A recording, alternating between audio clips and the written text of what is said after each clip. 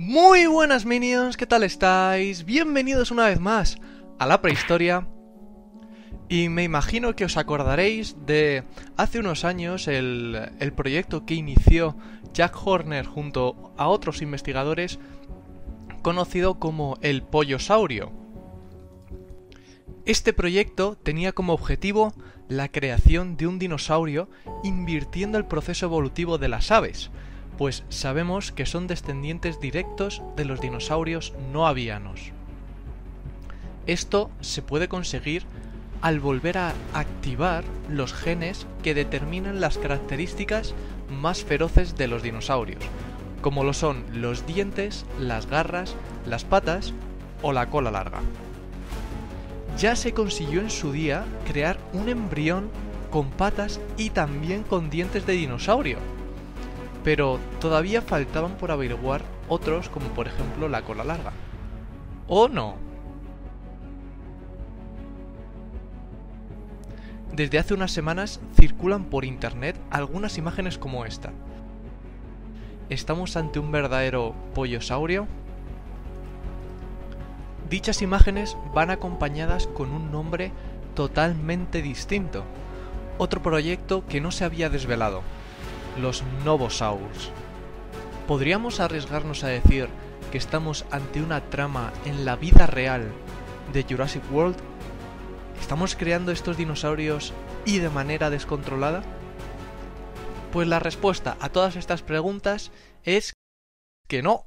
Realmente estas imágenes han sido creadas de manera digital eh, por algunos artistas de internet y en concreto, eh, hablando de, de los Novosaurs es, sí es verdad que es un proyecto, pero no como el que pensáis.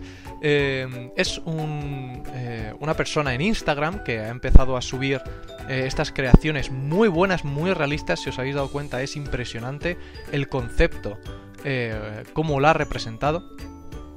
Y, y, su proyecto en realidad es de un realizar un Kickstarter que ya está activo. si queréis echar un vistazo a su Instagram, os lo dejo por aquí en el que quiere sacar a la venta un libro eh, sobre el futuro de, de, estas cosas, ¿no? De cómo sería, porque hasta donde hemos dicho de que se había conseguido eh, averiguar los genes de los dientes, los genes de, de las patas, eh, todo eso es cierto. hasta donde se sabía se faltaban los genes de la cola, pero por problemas éticos no se dejan nacer a los embriones. ¿vale? Entonces, este proyecto pretende recrear eh, o imaginar cómo sería en el futuro eh, estas, eh, estas creaciones de dinosaurios en el caso de que se llevase adelante y cómo evolucionaría dependiendo de si se aplica a un pollo o se aplica a un águila y demás. Así que es muy interesante, por favor, eh, si veis estas imágenes eh, yendo por internet, que si en Facebook, que si por Pinterest y demás, eh, por favor no os creáis que son reales, porque pueden parecerlo perfectamente, te pueden dejar un poco atónito de ¿en serio está pasando esto? Pero no os preocupéis que no, no está pasando todavía.